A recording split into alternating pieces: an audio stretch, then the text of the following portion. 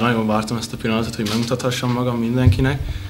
Pár perc, de ez is egy fiatal játékos számára nagyon fontos, főleg itt az Albánál. Nagyon örülök, hogy tudtam kosarat is szerezni. Nekem ez szerintem egy nagy erőlelépés. A csapat összhangunk szerintem nagyon jó. Nagyon jó ez a csapatunk az idén. Nagyon jó passzoljuk a labdát, extra passzolunk nagyon jól működnek.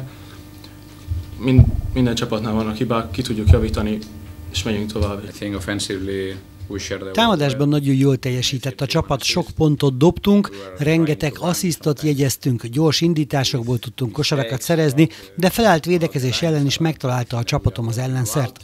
Védekezésben még van hova előrelépnünk az első két negyeddel, ebből a szempontból nem voltam teljesen elégedett, de a második félidőben már ez is szépen működött. Amit viszont nem értek, hogy a múlt heti két nemzetközi kupameccsünk és a mai bajnoki után miért kellett pénteken pályára lépnünk ismét. Négy légiós lehet szerepeltetni a magyar bajnokságban, közben nemzetközi kupa ellenfeleinknél 6-7, olykor 8 légiós szerepel. Nincs 200 olyan magyar játékos, akikkel fel lehetne tölteni a csapatokat, hogy kellő mélysége legyen a kereteknek, hogy a csapatok nemzetközi szinten is megállják helyüket. Ezt fontosnak éreztem elmondani, akkor is, ha esetleg pénteken nyerünk a Paks ellen.